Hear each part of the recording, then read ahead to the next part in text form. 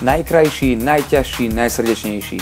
Tri prívlastky spojené do jedného podujatia – Rajecký maratón. 13. augusta pozývame všetkých priaznicov behu a korčul do Rajca na tretí najväčší slovenský maratón. Už jeho 33. ročník so štartom o 9. hodine povede tradične cez mesto Rajec na obratku v Čičmanoch s cieľom opäť z Rajci.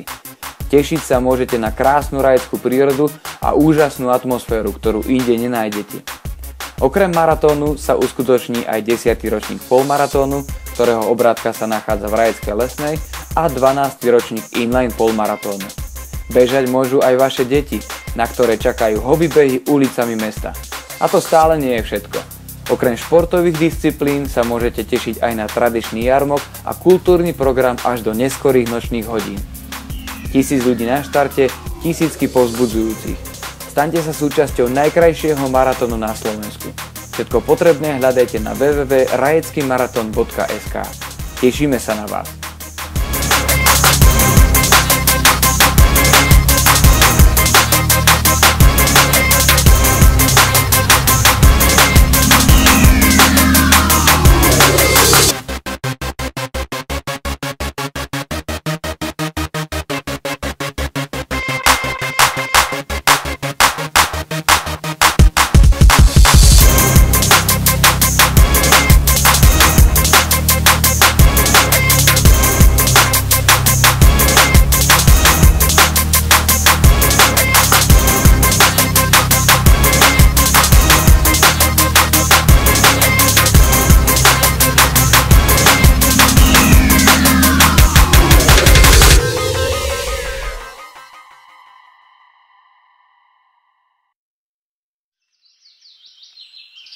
Hotel Skalka, miesto, kde si každý oddychne.